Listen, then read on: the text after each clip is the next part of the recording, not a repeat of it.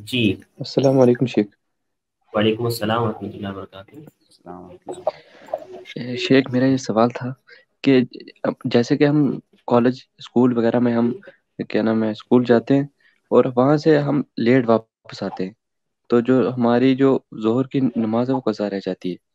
और जब हम घर पहुँचते हैं अमूमन जो असर का जो वक्त होता है नमाज़ का वो चार चार तीस या पाँच बजे तक हम पढ़ते हैं। तो क्या हम स्कूल से लेट आते हैं तीन एक बजे? तो क्या हम उसी वक्त फ़ौरन पढ़ेंगे या फिर उसको जमा करके पढ़ेंगे असर के साथ? सवाल समझ पाए हाँ, हाँ, जी शेख थोड़ा सा रिपीट आप कर दें। अटक रही थी आवाज़ इनकी। हाँ अटक ज़्यादा रही थी। वो शायद ये कह रहे हैं शेख कि असर की जोहर की नमाज़ जो है वो असर के वक्त में जोहर और असर एक साथ पढ़ते हैं स्कूल की वजह से। हम्म। थोड़ा तो आ, वो देखिए देखिए भाई।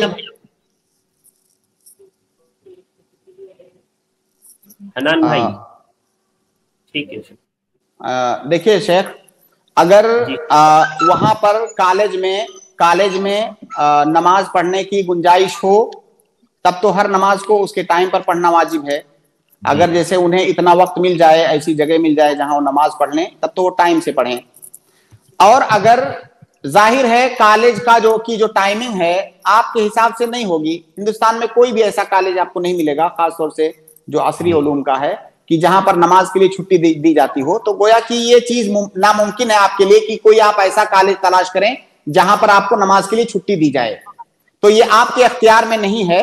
तो अगर जो है आपको छुट्टी नहीं मिल पा रही है और आपके सामने सिर्फ़ ये रास्ता है कि या तो आप कॉलेज छोड़ दो। अगर आप कॉलेज छोड़ दोगे तो आपकी तालीम रुक जाएगी। तो ऐसी सूरत में उलमा ने ये इजाज़त दी है कि आप दो नमाजों को इकट्ठा कर सकते हो। अगर आप जो है आ, जब कॉलेज से वापस आओ तो असर के टाइम असर को और जोहर को असर के साथ जमा ताखिर करके आप पढ़ लो।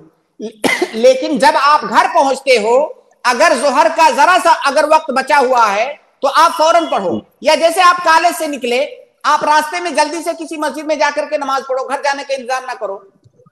तो बहरहाल आप कोशिश करो कि वक्त पर पढ़ो। अगर कोई रास्ता नहीं निकलता है तो जमा बैन सलातें जायज़ है। क्योंकि जमा बैन सलातें का असल सबब है मशक्कत। और यहाँ पर मशक्कत मौजूद है। क्योंकि या तो आप कॉलेज छोड़ दो, तालीम छोड़ दो। तो ये तो जो है, इसमें बहुत बड़ी मशक्कत है। जी। तो ये बता दें जब जब नमाजें जमा कैसे करें? पहले जोहर पढ़ें या फिर पहले असर? नहीं पहले जोहर पढ़ेंगे फिर असर पढ़ेंगे।